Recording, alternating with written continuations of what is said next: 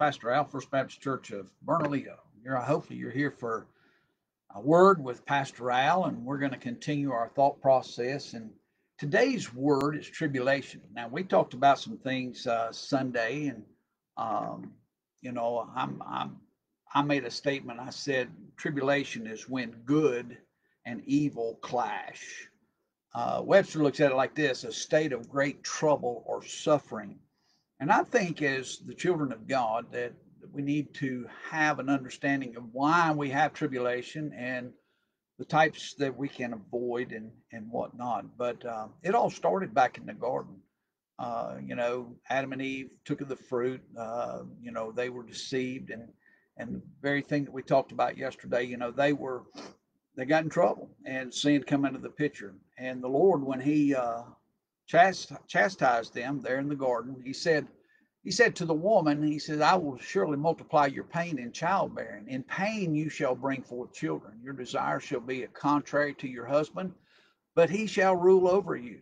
And uh, then he said to Adam, Because you have listened to the voice of your wife and have eaten of the tree which I commanded you, uh, you shall not eat of. Cursed is the ground because of you. In pain you shall eat of it all the days of your life. Thorns and thistles it shall bring forth for you, and you shall eat the plants of the field. But by the sweat of your face you shall eat bread till you return to the ground. For out of it you were taken, uh, for you are dust, and dust you shall return. That's found in Genesis chapter 3. But that was the beginning of it. You know, uh, the Lord wanted us to worship and have harmony and, and to uh, you know, take care of the garden and and the earth and re you know multiply and, and and grow it and you know those type things we take for granted. But because of sin, we have tribulation. But Romans 12 verse 12 is my verse for the day, and it's rejoice in hope, be patient in tribulation, be constant in prayer. Our lives we go through life and we have tribulation and and you know there's not a day goes by and we don't have some sort of tribulation I've been fighting a hot water heater here at the church all day and um, putting in lines and trying to add a place to fill up a mop bucket and things like that. But uh, it's not going as easy as I'd like it to. And I broke a sweat a couple of times and, and, you know, I'm having to grunt with a big pipe wrench. And those type things are tribulation, even though it's just part of a job. It's because we have, we brought it on ourselves. Okay. Now, this tribulation that we're going to talk about today is not the Great Tribulation. We're in the book of Revelation, and that's what we're preaching from on Sunday.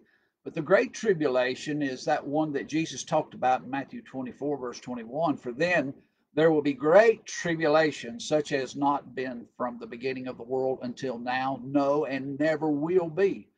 That seven years, uh, the first three and a half is man's judgment on man, and then the second three and a half is going to be God's judgment on man. And it's just going to be terrible. And uh, but the child of God, we're going to be spared from the great tribulation. Okay, so we don't have to worry about that. As we read it in Revelation 3:10, it says, "Because you have kept my word about patient endurance, I will keep you from the hour of trial that is coming on the whole world to try those who dwell on the earth." We have, um, because we are the child, child, children of God, if we've accepted that free gift of salvation through grace, it doesn't cost us anything. We just have to believe that Jesus was the Son of God, that He came to die to wash our sins away, atoned uh, uh, the the sins, not only our sins, but He atoned all the sins back to Adam and Eve, and He gives us that propitiation. He makes us as if we've never sinned. That's just kind of erases what happened there in the Garden of Eden. And now we can go back to that place that we are his children and uh, as he created us. However, we still have this factor that we are alive today. We have this jar of clay, this flesh, um, and we have been tainted with sin. Um, but we have to understand that God has left us here to manifest Jesus, to be a good factor in a corrupt world that the flesh, the world, and Satan, the, the evil one that we talked about on a couple occasions uh, Sunday, um, we see that good and evil. See, we are the good factor. The children of God, they're the good factor. And we know that we will have tribulation in this bad factor of the world. John 16 33, we read, I, I have said these things to you that in me you may have peace. We can have peace even if we got tribulation, okay? In the world you will have tribulation. There it is. Jesus said it. Okay. You can't you can't deny it. It says it right there. But take heart, I have overcome the world. Just as I said, he died on the cross to uh, wash our sins away, to uh, as we talked about yesterday, he took the keys and the power of death away from Satan. And we don't have to worry about those things. And one day we won't have tribulation. Amen. I look forward to that. But we are here today and we have a life to live. And there is tribulation in the world. Jesus just said that. He told us how to have peace. But how do we endure through this tri- uh, tribulation? And I just kind of, just a couple of, uh, you know, three things here that that I believe will help you, but it takes our having the right mindset and, and doing the things that we need to in this time of uh, tribulation that we find ourselves. And, and it gets darker and darker and darker. And uh, individuals, strong Christians that I know, they're going through great tribulation right now with the things that are going on. Uh, you know, this COVID, uh, the the different things that are going on in our country, uh, this election that's coming up, and just all kinds of crazy stuff. And it's, I want to keep our eyes on heaven. I want to keep our eyes on the kingdom and what's important. And here's what the Lord tells us to do. First, we got to trust. Uh, to endure these tribulations, trust, Proverbs 3, verses 5 and 6, trust in the Lord with all your heart and do not lean on your own understanding. We all need to underline that and do not lean on your own understanding, me included. Uh, we have to listen to the Holy Spirit. And we have to gather those things that He has given us. And how does the Holy Spirit and the Lord speak to us? That's right, His Word, okay? In all thy ways acknowledge Him, and He will make straight your paths. So if we take out the roadmap we call the Bible, and we listen and allow the Holy Spirit to speak to us through God's Word and to recall those things in which the Lord has taught us through our lives uh, and trust Him. He said He'd never leave us nor forsake us. He would give us peace, uh, you know, that passes all understanding. He has told us that He would provide for us, He would protect us. And we've talked about all these different things uh, our word list is getting fairly long. Uh, but here's the thing He has said that we need to do what's on His mind, His heart, not ours, not understand what we want, but listen to what He says. Not only trust, but then present. We need to present ourselves as workmen, those that are here to manifest Jesus, to do the work of God uh, here on this earth, to be that good in a very bad world but it says to present, 2 Timothy 2.15, do your best to present yourself to God as one approved, a worker who has no need to be ashamed, rightly handling the word of truth. It's one thing to read the Bible, but it's another when I see people take verses that just they they cherry pick a couple verses to fit their need, and you can find a verse somewhere in the Bible to, um, you know, if you pull it out of context, you can make it mean just about anything. But read the Bible in context learn God's word in context, put it into action in context where that you can understand and stand strong and not be ashamed. Um, have you ever done something and you didn't do it the way it was supposed to be and it kind of blew up in your face? You say, oh man, I messed that up. Well, then you get ashamed. And that's what we can do. If we misuse God's word for the wrong way, in the wrong way, and for the wrong reasons, we can have a bad uh, situation on our hands. But let's present ourselves that that workman that needeth not to be ashamed. Uh, so we need to trust, we need to present. But then, as we talked about Sunday, and all seven of these love letters that we're talking about there, the seven churches, at the end of them all, there's a paragraph that says, He that overcomes, or he says, He that hath an ear, let him hear. Uh, but you need to overcome. In 1 John 5 4, it says, For everyone who has been born of God overcomes the world. Let me read that again because a lot of people don't understand that. For everyone who has been born of God overcomes the world.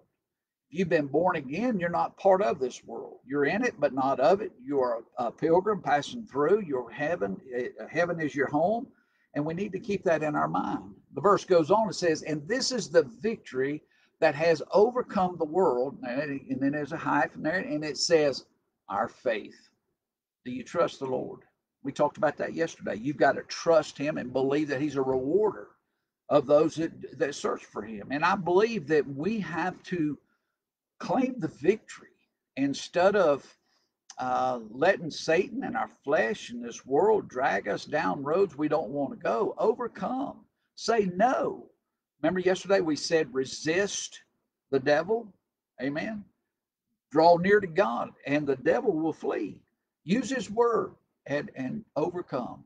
So those are three things. They're they're pretty simple, and you probably know these things. Sometimes we need to be reminded. I know I do sometimes, and I I think we we can do better than what we do. Um, I'm looking so forward to um, a day when we can unite come back to church and and just enjoy one another's company. Forget the outside world. I'm I'm I'm I'm serious. I I, I look I miss my church family and being able to to hug and and to have fellowship and to eat and to pray together. I mean, we're doing it at church and things like that, but it's it's not the same. It's not like our Wednesday night or when we just gather and have socials and things like that. And I missed coming together. So here's the thing, y'all y'all just pray that the Lord would open those doors up. Um, but here's the thing: if we do those things, if if if we trust in the Lord, we present ourselves uh, that we might not be ashamed and then we overcome the devil and the world, that dark one, uh, the evil. Uh, there are reinforcements uh, if they are done in obedience. If we follow God's word, we listen to the conviction of the Holy Spirit, and we we allow ourselves to be drawn to the will of God. Uh, we have reinforcements. Exodus uh, 23, 22 says, "But if you uh, are carefully, but if you carefully obey His voice." and do all that I say, then I will be an enemy to your enemies and an adversary to your adversaries. Isn't it cool that God's on our side? And I believe if we do things in a godly way, fashioned than which God is is pleased, amen. And we stand strong, even if it means that we suffer. We go through tribulation and we have a hard time of it. If we do it God's way, then whoever's opposing us, they've got God uh, they have to deal with. Okay. So let's remain steadfast while doing good. James 1:12 says, Blessed is the man who remains steadfast under trial. These tests that we go through and the things that God's doing, let's do our part. And it says, For when he has stood the test, he will receive the crown of life which God has promised to those who love him. Do you love Jesus? We talked about that a couple weeks ago. And I'm willing to suffer for the Lord too. And I, I'm, i believe we're going to see more and more suffering. But I believe we need to stand strong. And today is the day um, of salvation. And we need to do everything we can to share with a lost and dying world that troublemaker we call the devil is out there, Lord, seeking who he may devour and, and, and attack and just tear down. And I, I just want to I want to fight him every chance I get. So back to our verse of the day. We're going to have tribulation. We're going to have all this stuff. And we have to understand that. Romans 12, 12, rejoice in hope, be patient in tribulation, be constant in prayer. And my attitude adjustment for the day is no matter how bad things get, I will be good in the Lord. I can't do it by myself. I, I have to have the Lord. I have to rely on His Word. I have to rely on the Holy Spirit. I have to rely on His power. And that is how we can hold our heads up in tribulation and be strong and courageous and plow through the dark times. Amen. Let's pray. Lord, I pray that you would help us, your children, uh, your body manifested here on this earth, the bride of your Son, Jesus. I pray that you would give us the direction, the wisdom, uh, help us to recall Scripture, help us uh, not to get so caught up in the world that we lose sight of what you want us to do about heaven. And I pray that you would just lift us up. Give us that peace. Give us that strength and courage. And I pray, Lord, uh, that you'd give us peace. So much unrest right now, especially in your church. And I pray that you would just touch us. I pray that you would draw us together, unify us, that we might be useful to you for the purpose of growing the kingdom. And I thank you for what you're going to do. In Jesus' name, amen. Y'all have a blessed night. I'll see you tomorrow, okay?